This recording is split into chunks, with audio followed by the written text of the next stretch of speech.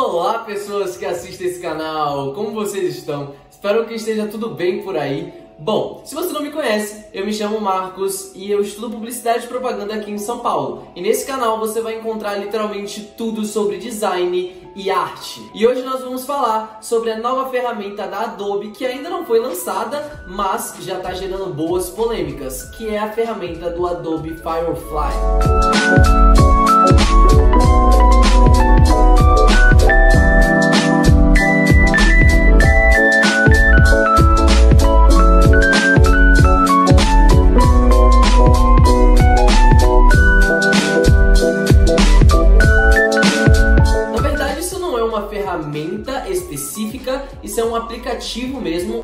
Firefly vai ser literalmente um aplicativo de inteligência artificial da Adobe. Eles não falam de forma direta sobre isso, mas eu falarei de forma direta para vocês e vou explicar tudo aqui nesse vídeo para vocês. Bom, como eu já havia falado, esse é um aplicativo que ele usa como base do aplicativo inteligência artificial. Então, se você, por exemplo, digita lá ilustração de Michelangelo é, misturada com Camões. Só um exemplo aqui, tá? De dois artistas muito incríveis da época do Renascimento, mas é, se você digitar isso lá, ele vai literalmente entregar para você uma ilustração desses dois artistas em uma ilustração só. Então, de forma bem básica e rápida para explicar para vocês, vai ser literalmente uma ferramenta de inteligência artificial que vai facilitar bastante a nossa vida mas será que a gente não vai ser substituído por essa ferramenta? Eu vou te responder isso lá no final do vídeo. Esse vai ser um dos primeiros aplicativos a criar imagens a partir de textos. Então, os textos, eles usam meio que inteligências de códigos matemáticos que conseguem gerar coisas novas o tempo todo. Então, se você coloca lá para você digitar e aparece uma ilustração para você, nunca mais vai aparecer uma ilustração dessa para outra pessoa ou para você mesmo, nunca mais vai aparecer, porque os códigos matemáticos usados, eles nunca são repetidos dentro desse aplicativo. Eu queria ressaltar aqui para vocês também que o aplicativo ele tá em, ainda está na versão de teste. Então ele ainda está na versão beta, você ainda não tem como baixar ele. Para você baixar, você tem que pedir uma permissão e eu já solicitei essa permissão. Eu só estou esperando a resposta deles para eu trazer aqui no canal para vocês. Dentro do aplicativo, você vai precisar detalhar tudo. As cores que você quer, tudo, tudo, tudo através de texto e ele vai gerar a imagem para você. Eu queria ressaltar também a criação de vetores através dos textos. Isso é algo genial, literalmente genial porque eu particularmente considero o vetor um bom, um bom tabu dentro do mundo do design. Tem pessoa que não gosta, tem gente que ama, tem gente que odeia, tem gente que não sabe nem o que é e já trabalha com design há anos. Então, vetor é realmente uma confusão nesse mundo de design. Por isso, eu acredito que essa ferramenta de vetor ela seja muito, muito, muito boa pra gente usar. O insight que eu tive muito legal, olhando um pouquinho ali das ferramentas do Adobe Firefly, vai ser que ele vai funcionar muito bem no iPad. Então se você é designer e tem um iPad, quando lançar esse aplicativo, já baixa e chega aqui nos comentários e me conta como foi a experiência através do iPad. Porque a experiência dele é muito imersiva, é uma experiência muito tranquila, mas ao mesmo tempo muito, muito robusta e imersiva mesmo.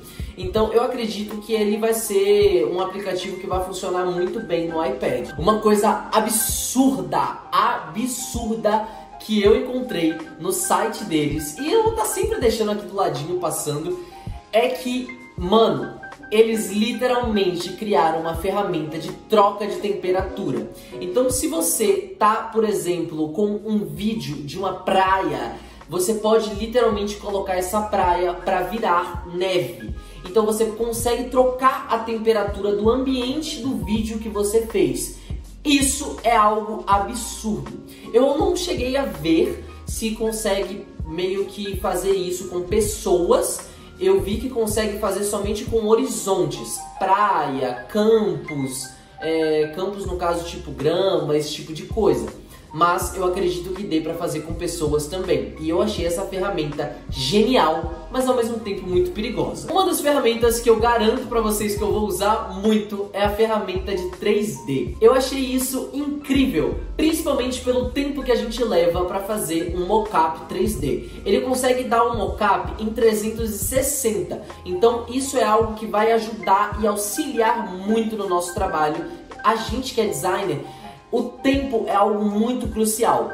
Hoje em dia eu aprendi que 10 minutos é muito tempo. Então se você consegue economizar, por exemplo, uma hora que você estaria fazendo um mockup e a inteligência artificial do Adobe Firefly consegue fazer para você, você economiza muito, mas muito tempo. Por isso, eu acredito que essa ferramenta seja muito boa, mas eu admito que eu acho ela um pouco perigosa. Então, já que a gente falou dessa ferramenta ser perigosa, vou responder a pergunta que eu tô recebendo muito no meu Instagram. Será que eu vou ser substituído como designer? Será que eu vou ficar para trás como designer porque essas ferramentas vão começar a substituir o nosso trabalho? A resposta é não. Por que não? Você precisa ser bom no que você faz. E se você é bom no que você faz, você não vai ficar para trás. Mas se você é um designer mediano, sim, galera, você vai ficar para trás. O Adobe Firefly, eu vejo ele como uma ferramenta muito mais auxílio ao designer do que uma ferramenta de arte finalista. O que seria uma arte finalista? É você jogar lá o texto que você quer, jogar a, a imagem como você quer, gerou a imagem e você já entrega para o cliente ou você já posta na sua rede social. Não é dessa forma.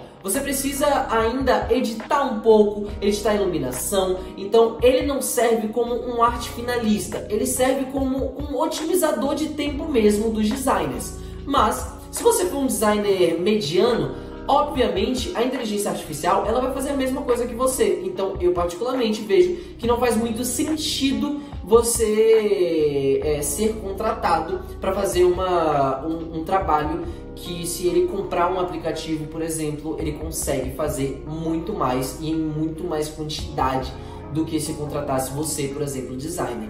Por isso, eu indico vocês sempre, sempre aqui no canal eu falo isso a vocês. Estudem muito, estudem, estejam atentos a tudo que está acontecendo. A gente está em um momento de muita transição, uma transição enorme. E quem não se atualizar vai ficar para trás, realmente. Então, eu não acho que o designer ele vai parar de, de, de existir mas eu acho que os melhores designers vão continuar se destacando e os designers medianos vão ficar para trás. Uma dica que eu dou para vocês e é a única dica que eu vou dar para vocês. Façam uma faculdade. A faculdade de publicidade e propaganda, a faculdade de design gráfico, faculdade de marketing, todas as faculdades da área de comunicação são muito boas pra gente que é designer gráfico. Eu faço publicidade e propaganda, isso abriu muito a minha mente como designer. Eu já trabalho como designer há oito anos, então realmente eu percebi que eu estava virando uma pessoa muito comercial. Eu precisava de algo novo, eu precisava de uma visão nova, eu precisava expandir os meus conhecimentos. Eu percebi que eu estava virando uma pessoa extremamente sem criatividade. Então, eu acredito que a faculdade vai dar essa guinada na sua criatividade, na sua visão de mundo, na visão como você enxerga design. Bom, eu espero que vocês tenham gostado desse vídeo. Se você gostou, já deixa seu like aqui, continua aqui no canal, comenta aí também e se inscreve porque isso ajuda muito aqui no engajamento do canal. Se você curte esse tipo de conteúdo, continua aqui na nossa pequena comunidade que está se construindo ainda, mas continua por aqui que você vai aprender muito. Então é isso, gente. Beijo pra vocês e até o próximo vídeo. Tchau, tchau!